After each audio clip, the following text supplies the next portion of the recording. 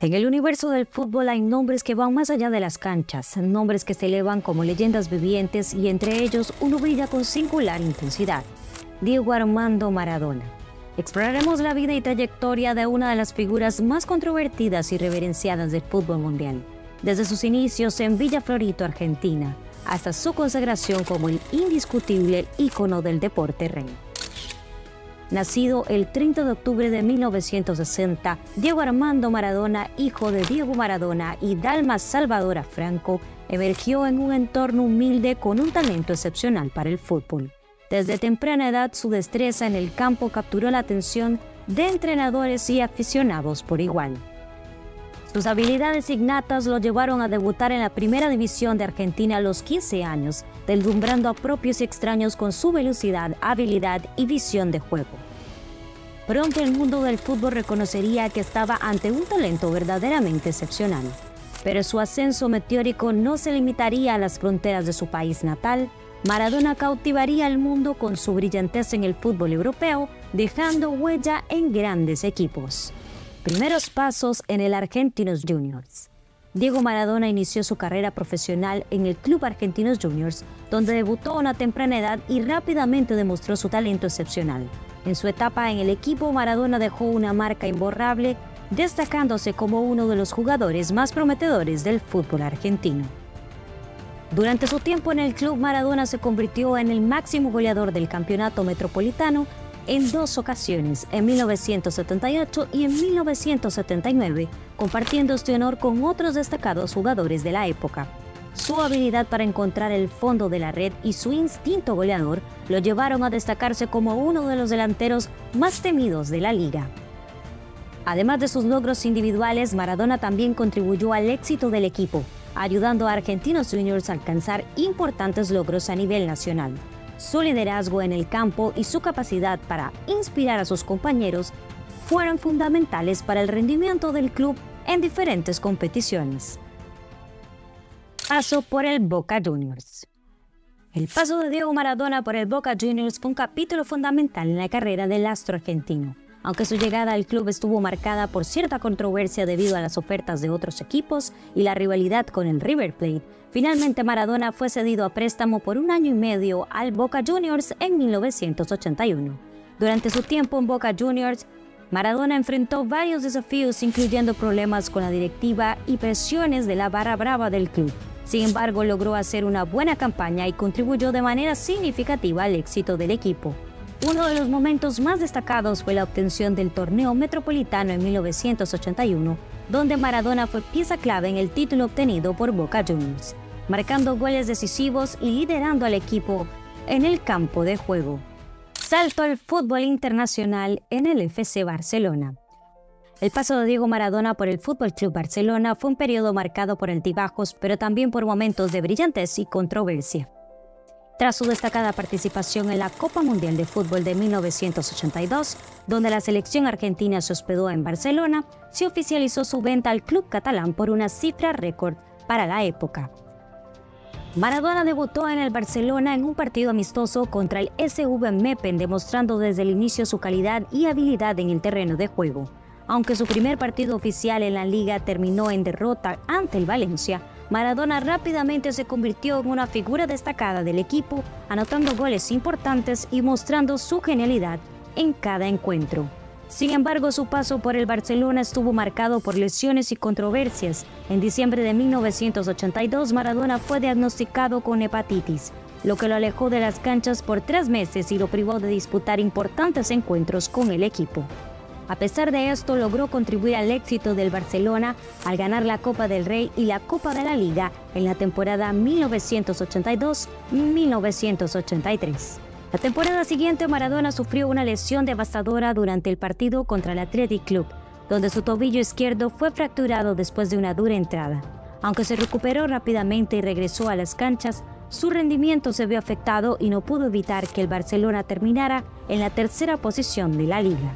El punto culminante de su paso por el Barcelona fue su participación en la final de la Copa del Rey contra el Athletic Club, donde el equipo catalán fue derrotado y Maradona se vio involucrado en una pelea al final del partido. Esta situación, junto con una sanción de tres meses impuesta por la Real Federación Española de Fútbol, contribuyó a que Maradona decidiera dejar el club. Aunque su paso por el Barcelona estuvo marcado por desafíos y controversias, Maradona dejó una huella imborrable en el club y en la memoria de los aficionados. Su talento único y su capacidad para marcar la diferencia en el campo de juego lo convirtieron en una leyenda del fútbol, incluso en los momentos más difíciles de su carrera. Trayectoria en el Napoli. Fue una etapa verdaderamente histórica y consagratoria tanto para el jugador como para el club. Su llegada al equipo napolitano en 1984 marcó el inicio de una relación que se convertiría en legendaria. El traspaso de Maradona al Napoli fue resultado de una serie de circunstancias que incluyeron la oferta original del club para un partido amistoso contra el Barcelona. Aunque el Barcelona intentó evitar que Maradona participara para evitar lesiones, finalmente el Napoli aprovechó la oportunidad para realizar una oferta que fue aceptada. La presentación de Maradona en el estadio San Paolo fue un evento épico que atrajo miles de fanáticos y marcó el comienzo de una nueva era para el club.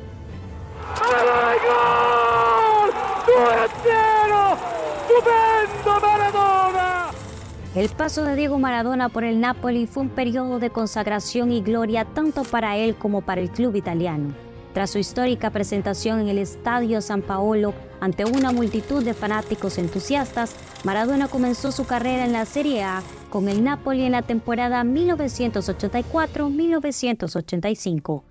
A pesar de un comienzo difícil, el equipo encontró su rumbo gracias al talento deslumbrante de Maradona, quien destacó con actuaciones estelares y goles memorables. La temporada 1986-1987 fue particularmente exitosa, ya que el Napoli conquistó su primer scudetto en la historia del club. Con Maradona liderando desde el frente, el logro fue seguido por la conquista de la Copa de Italia, lo que significó un doblete histórico para el Napoli y un lugar en la inmortalidad del fútbol italiano. Además de sus logros deportivos, Maradona también vivió momentos personales significativos durante su tiempo en Nápoli incluyendo el nacimiento de sus hijos Diego y Dalma, quien añadieron un nuevo capítulo a su legado en la ciudad. A pesar de enfrentar desafíos y controversias como su suspensión por dopaje en 1991, Maradona dejó una huella imborrable en el Napoli y en la historia del fútbol italiano. Su legado perdura en la memoria de los aficionados y su contribución al club siempre será recordada con admiración y gratitud. Tiempo en el Sevilla. El paso del polémico Diego Maradona por el Sevilla en la temporada 1992-1993 estuvo nuevamente marcado por altibajos, conflictos internos y lesiones. Después de cumplir su suspensión de 15 meses impuesta por FIFA, Maradona buscaba un nuevo comienzo en un equipo con menos presión y exigencias deportivas. Finalmente, tras negociaciones con varios clubes, incluyendo el Olympique de Marsella, Maradona se unió al Sevilla por una suma considerable. Llegó al Sevilla con 31 años en un momento de su carrera en el que ya había alcanzado la cima del fútbol mundial. Su debut con el Sevilla se produjo en un partido amistoso contra el Bayern Múnich, seguido de un debut oficial en la Liga Española contra el Athletic Club. A pesar de un buen comienzo, Maradona pronto empezó a tener problemas con la directiva debido a sus constantes salidas nocturnas y a la falta de entrenamientos. En su tiempo en el Sevilla, Maradona disputó 26 partidos de liga, marcando 5 goles y dando 9 asistencias, pero su paso estuvo plagado de controversias y problemas tanto dentro como fuera del campo. Trayectoria en la selección argentina. En la selección argentina, Maradona brilló tanto a nivel sub-20 como en la categoría mayor. Hizo su debut a la edad de 16 años en 1977 bajo la dirección técnica de César Luis Menotti. A pesar de su talento evidente, Maradona fue excluido del equipo que ganó la Copa Mundial de FIFA de 1978, lo que generó una profunda decepción en él y muchos seguidores argentinos. A pesar de ello, Maradona tuvo su relevancia en el Mundial Juvenil de 1979 en Japón, donde lideró a Argentina hacia la victoria, recibiendo el balón de oro como el mejor jugador del torneo. Su participación en el Mundial Mayor de 1982 en España estuvo marcado por el descontento y la eliminación temprana del equipo argentino en segunda fase del torneo. Su liderazgo lo llevó a conquistar la Copa Mundial de FIFA de 1986, donde se consagró como una de las figuras más importantes de la historia del fútbol. Fue en este mundial efectuado en México donde Maradona alcanzó la cúspide de su carrera internacional como capitán del equipo argentino. Llevó a su país a ganar su segunda Copa del Mundo, siendo la figura destacada del torneo y su actuación en el famoso partido contra Inglaterra, donde marcó dos goles legendarios, incluyendo el famoso gol del siglo, lo catapultó a la categoría de ícono del deporte mundial.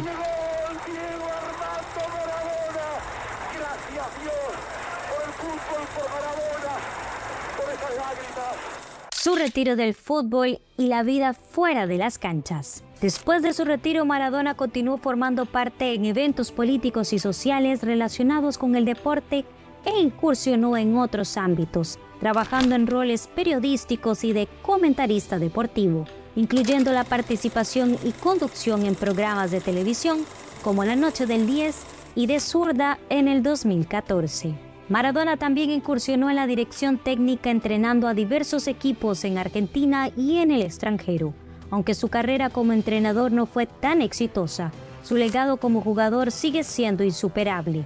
Su experiencia más notable como entrenador fue con la selección argentina entre el 2008 y el 2010.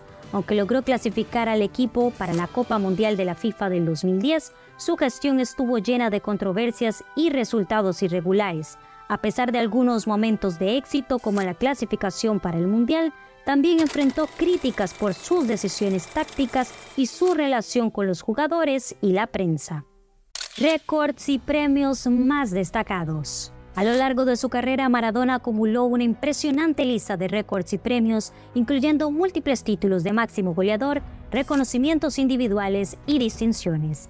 Entre los premios y reconocimientos que Maradona recibió se encuentran Copa Mundial y Balón de Oro de la FIFA en 1986, jugador del siglo de la FIFA en el año 2000, Balón de Oro honorífico en el año 1995, Olimpia de Oro en 1986 y en 2010, Futbolista del Año en Sudamérica en 1979, 1980 y 1986.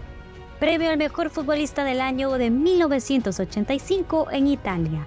11 de Oro en 1986 y 1987 jugador mundial del año en Italia en 1986 y 1987, equipo de las estrellas de la Copa Mundial de Fútbol en 1986, jugador más joven en debutar en la selección argentina con 16 años y 4 meses, jugador más joven en convertir 100 goles en la primera división argentina máximo goleador histórico del Napoli en las Copas Nacionales y máximo goleador extranjero de la historia de la Copa de Italia. El legado de Maradona. Diego Armando Maradona fue mucho más que un futbolista extraordinario. Fue una leyenda que trascendió las fronteras del deporte. Su vida estuvo marcada por altibajos, pero su impacto en el fútbol y en la cultura popular seguirá siendo inigualable. Maradona no solo fue uno de los futbolistas más talentosos de todos los tiempos, sino que también un símbolo de resistencia y pasión. Su estilo de juego único y su habilidad para marcar goles icónicos lo convirtieron en una leyenda. Su destacada actuación en la Copa del Mundo de 1986, donde llegó a Argentina la gloria con su gol del siglo y la mano de Dios, lo inmortalizó en la historia del deporte. Tras su fallecimiento, el mundo entero se unió para rendir homenaje a Maradona. Desde multitudes consagradas en estadios hasta mensajes de condolencia de líderes mundiales, su impacto fue evidente en la profunda admiración y respeto que generó en todo el mundo. Diego Armando Maradona, un hombre cuyo legado trasciende el deporte y cuya influencia perdurará por generaciones, esta fue la crónica de un genio del fútbol un ícono cultural y para muchos un auténtico héroe. Mi primer sueño es jugar en el Mundial y el segundo es salir campeón